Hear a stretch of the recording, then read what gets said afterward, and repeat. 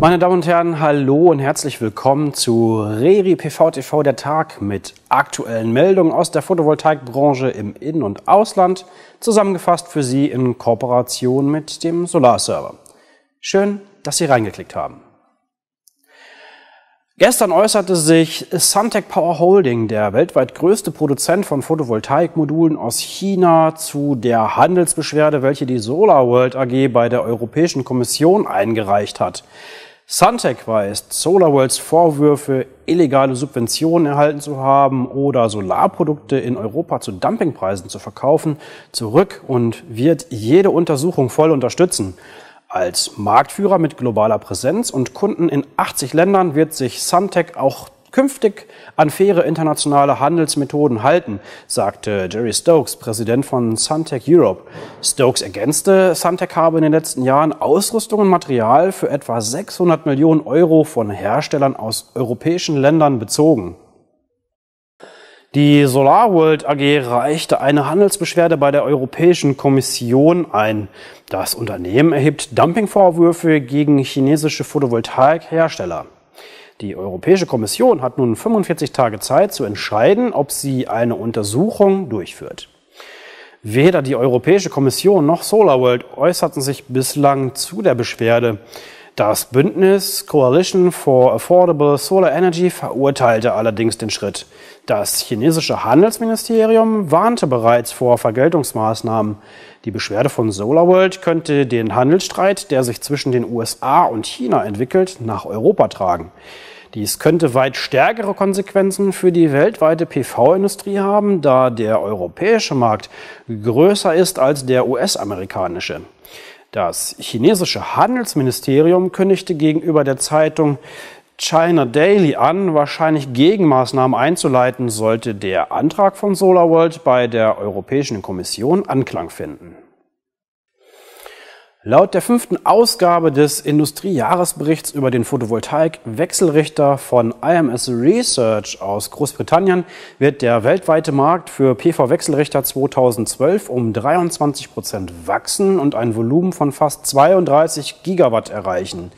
Der Gesamtausblick der Studie The World Market of PV Inverters auf die Umsätze der Industrie ist jedoch ernüchternd. Die Autoren gehen für 2012 von nur 3% Wachstum aus. Das Marktvolumen würde dennoch erstmals 5,8 Milliarden Euro erreichen.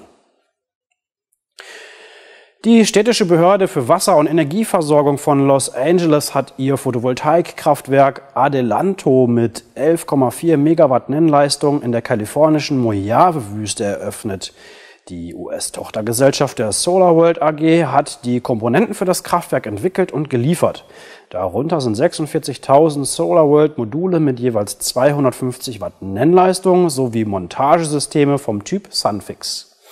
Die Komponenten wurden in den USA hergestellt, ebenso Wechselrichter und weitere elektrische Komponenten des Kraftwerks.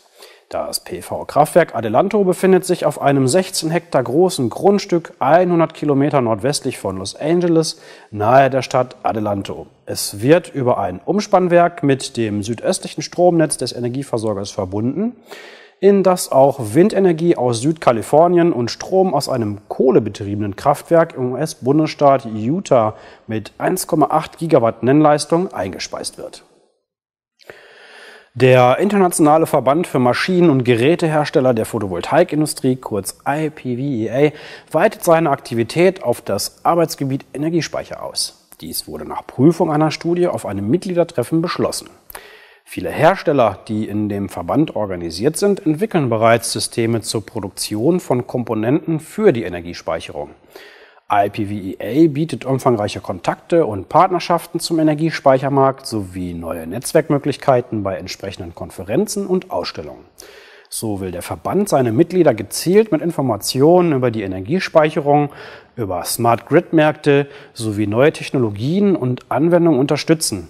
IPVEA öffnet sich damit auch für neue Mitglieder, um eine stärkere Plattform für Photovoltaik- und Energiespeicherunternehmen zu werden.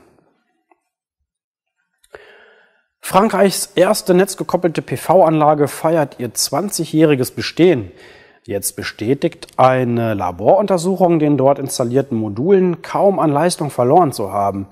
Die 1 kW-Anlage im französischen Louis hat lediglich 8,3 Prozent ihres ursprünglichen Ertrags eingebüßt. Die Untersuchung wurde von der zum staatlichen Solarforschungsinstitut INES gehörenden Behörde für Atomenergie und alternative Energien und dem Zertifikationslabor Certisolis durchgeführt. In Anbetracht der technischen Entwicklung in den vergangenen 20 Jahren ist die Leistung der Module besonders bemerkenswert. Die K Bewego Holding AG aus Holzkirchen, Entwickler und Betreiber von Anlagen und Kraftwerken für die solare Stromerzeugung, hat über ihre Beteiligung an der Earthshift Energy LLC ein Portfolio von Photovoltaikprojekten in Kalifornien, USA platziert. Die Projekte umfassen ein Volumen von 17 Megawatt mit einem Wert von mehr als 65 Millionen US-Dollar. Die Projektentwicklung erfolgte in Zusammenarbeit mit einem der führenden nordamerikanischen Solarprojektierer. Überdies seien für den produzierten Solarstrom bereits langfristige Abnahmeverträge mit kalifornischen Energieversorgern geschlossen worden, sogenannten Power Purchase Agreements, kurz PPA. Insgesamt plant Cabe Vigo in den USA für das Jahr 2012 weitere Photovoltaikkraftwerke mit einem Volumen von mehr als 30 Megawatt zu projektieren und zu realisieren. Das waren sie soweit die Meldungen für heute. Morgen sind wir zur gewohnten Zeit wieder für Sie da. Klicken Sie sich rein. Ihnen noch einen schönen Abend. Bis dahin.